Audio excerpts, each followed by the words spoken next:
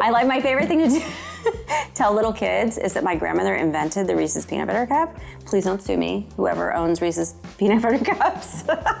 my kids are like, really? I'm like, really?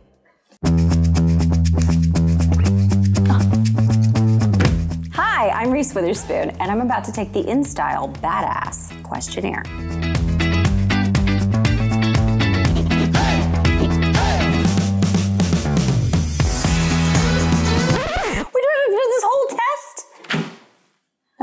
Test taking. This is gonna take all day. The last book I could not put down was, oh my God, y'all. I read so many books. The Island of Missing Trees. The hardest thing about being a mother is this little piece of doubt that you're messing up all the time. I work really hard to get rid of it, but it's always there. The worst habit my kids picked up from me is chewing gum. My favorite Southern phrase is, good Lord willing and the creek don't rise. The last time someone called me Laura Jeanne, this morning when I talked to my mother, my current favorite artist to listen to is Tyler the Creator. My son told me about Tyler the Creator, and he also really likes his clothes. So then I got into the clothes, and he's got great style. Something surprising that people don't know about me I'm an excellent hip hop dancer. A badass woman is someone who is not afraid to let go of things that don't serve them. Someone who also understands that no is a complete sentence. Three badass women that inspire me. Um, three? I can't think. Th- I can think of like 43. This is gonna be really hard. Uh, Laura Dern, Oprah, uh, Zoe Kravitz, Nicole Kidman, Shailene Woodley, Kerry Washington, Jennifer Aniston, Viola Davis, Meryl. I mean, like Meryl, Gayle King, Maria Shriver. Should I go on? Oh, Whitney Wolfe Herd. Um, there's so many entrepreneurs that I just find so inspiring. Sara Blakely, I mean Cheryl Strayed, Glennon Doyle, Abby Wambach, America Ferrera, Eva Longoria. I could go on and on. My approach to acting is less is more. When someone tells me no, I try to think of another way. The movie that made me want to become an actress was probably broadcast news. There's a person in the newsroom says to her, It must be hard being the smartest person in the room. And she says, It's exhausting. Or just there's this great scene where she picks up the phone and just starts crying like this. and then she like pulls herself together. Also, Overboard. Overboard. Anything Goldie Hawn. Goldie Hawn is gold. and I'm not going anywhere. Damn you! Man overboard! Keep going! Okay, one thing Jennifer Coolidge taught me about comedy uh, commitment. Comedy is commitment. Just commit to the character. And, and Coolidge is just the queen of the bizarre idea. And it always works somehow. I got it. When walking up to the stage to accept my Oscar, my first thought was, this is gonna make me cry. I hope my grandma's proud of me. She was in heaven, but I was really hoping that she was proud of me. Throwing ice cream at Meryl Streep. Throwing an ice cream at Meryl Streep was the most wicked idea I ever had. and it was so delightful and fun, and Meryl was just um, completely game. She's so willing to play. And that's like the biggest compliment I can give to an actor is they, they just come to play. That's you, Meryl. You come to play. I threw the many, many ice cream cones at Meryl Streep, but only one hit her. All it takes is one. You know, and also no one ever saw that scene, and I really wish they had. I think it's a classic. I should write a note to HBO. Release the scene of ice cream throwing at Meryl Streep. Okay, HBO? Uh, my goal launching Hello Sunshine was to change the narrative for women on film. I think that we had such a limited view of the female experience because we weren't hearing from female writers, we weren't seeing female directors working. So, just kind of bundling those ideas together in one company where we talk about books, we talk about podcasts, we talk about film, we talk about television, we talk about social media. Women are having such a broad spectrum of experiences, and it's so exciting to me. Every day I wake up so energized to see what story I'm gonna get to see or read. Oh, I know a book will make a great movie when I can imagine the movie in my mind as I'm reading it. It's actually got to hit this sweet spot too. It has to be a great female character and she has to be in conflict within the first 30 pages that I know she's going to overcome. If there's anything that I love so much about books is it transports me to another world and I get to imagine other people's lives. And what's more magical than that?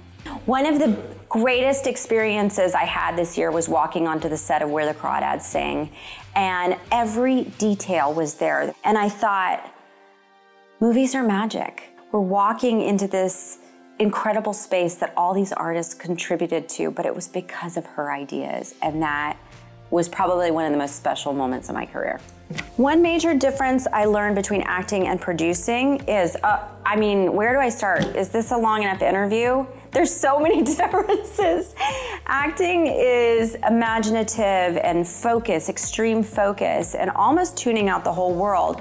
Producing is about listening to literally everyone and making sure everybody feels heard and that you grease the wheels of progress to make it happen.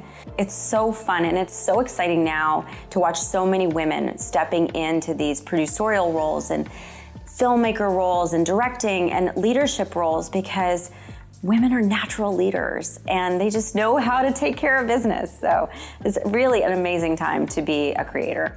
Rank these iconic characters in the most, oh, oh gosh, I can't, how can you ask me to, these people are my friends. When, when people come up to me on the street and they say, what do you think about Elle Woods or what do you think Tracy Flick is doing now? I literally think people are asking me about one of my best friends. so I couldn't tell you. I mean, June Carter Cash, God bless her soul, is just, I love one of the things she said, and I said in my Oscar speech was, I'm just trying to matter. And that has influenced my entire life. Madeline Martha Mackenzie, my favorite thing that anybody ever said, one reviewer said, she was like Tony Soprano in yoga pants. so every time I think about Madeline, I think about, yeah, she kind of was Tony Soprano in yoga pants, but kind of meaner. Um, Bradley Jackson is just a force of nature. She is a truth teller. She believes that people have the right um, to free press. And she's one of the most intense characters I've ever played, but she's so fun and funny too. I am an early riser, making people laugh. Small town. I can't decide. Oh, I can't decide. I can't decide. Tea or coffee? coffee, lots of it, lots and lots of it. Oh, Reese's peanut butter cups. What are we talking about? I like my favorite thing to do, tell little kids is that my grandmother invented the Reese's peanut butter cup. Please don't sue me, whoever owns Reese's peanut butter cups. my kids are like, really? I'm like, really? The first word that comes to mind, well, first of all, I feel so um, tender about little Reese. Well, this was my first time at the Oscars, and I just remember being so excited to be invited, just to be invited. And I couldn't believe I got to wear a fancy dress, and I couldn't believe I got to sit in the front row. I think I was the biggest fangirl there. And the next one was this beautiful Marc Jacobs dress for the Legally Blonde premiere. I just loved it, loved it. Elizabeth Stewart picked it out, and I felt like a pink dream. And this was my Oscar dress, which was a 1956 Christian Dior. I mean, I felt I felt magical. It was really special. The pink dress, this dress is Stella McCartney, and it was the first time I ever went to the Met Ball. And let me just say, if Stella McCartney invites you anywhere, you should go because she's she's the life of the party. That's who Stella is. This last dress is Tom Ford, and it was for the Oscars, and it was just exquisite and beautiful. And he just does a beautiful job making a woman feel revered and celebrated. Rank Elle Wood's most iconic looks. Oh my gosh. the one that pops out to me the most is the second look where she first arrives to Harvard. And I remember Sophie de Rakoff, who did the clothes, she wanted her to look like a piece of luggage. So everything is leather from head to toe. I just remember it was almost impossible to walk in because I was literally dressed as luggage. Well, I love the Jackie O moment in Legally Blonde 2.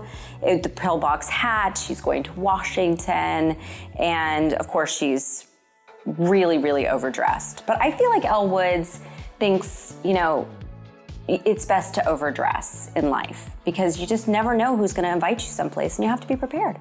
And I think the courtroom outfit that Elle Woods wears in the first one is based on an Elvis jumpsuit. I'm not even lying because he's the king and she's the queen. I mean, the one where she's dressed like she goes to Harvard is maybe not, maybe not her signature look, but she was trying to blend. You were suspended in third grade for selling hair accessories out of your desk. Not suspended. So there's somewhere between true and false. I was I held after school and I had to clean up all the desks in the entire third grade because I got paint pen all over the desks while I was trying to personalize hair barrettes for a business I had started. You were 10 years old when you landed your first movie role. False. I was 14. Come on, people. Um, you were a featured vocalist on a Michael Bublé cover. That's true. I was actually on a Michael Bublé album, and it was really, um, actually, was super nerve wracking, and I was really scared because I'm a huge Michael Bublé fan, and as most people who are in their right minds are. And I, he was just the loveliest person, and it was really fun. And you know, the crazy thing is, is I was on vacation this summer, and I heard the song playing, and I kind of freaked out. I was excited. I was like, "That's me." You have made it your mission to use your voice and platform to advocate for women all over the globe. Why is it important to amplify women's stories? I think it's really important for the women who come up after me in my business that I leave Hollywood a better place than the way I found it. It was really hard to be a young actress in this business. Wasn't always respected. I wasn't always treated well. And I think to to blow that out even further, I think we are really lucky to live in a country that we have so many fundamental rights. And to watch people rolling them back is really difficult. And I think it's really important to speak up for your rights as a woman because you're really um, you're empowering the next generation, but you're also helping advocate for women who have no rights in this world. So if you have a chance, lift a woman up and open a door for another woman. It will truly change the world. Thank you. That was my test. If I gave myself a grade, I'd say I got an A plus.